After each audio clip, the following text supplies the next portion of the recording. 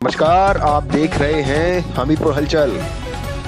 हमीरपुर जनपद से इस वक्त की बड़ी खबर निकल कर आ रही है, हवस का शिकार बनी मासूम। मासूम की माँ ने लगाए रिश्तेदार पर बलात्कार का आरोप।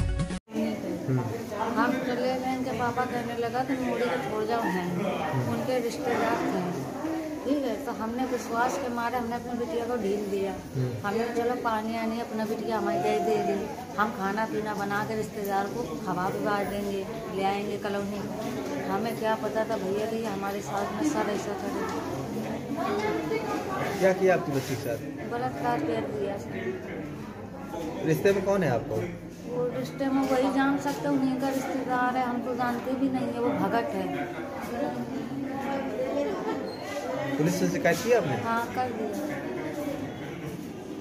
पानी देने गई मासूम बनी रिश्तेदार की हवस का शिकार।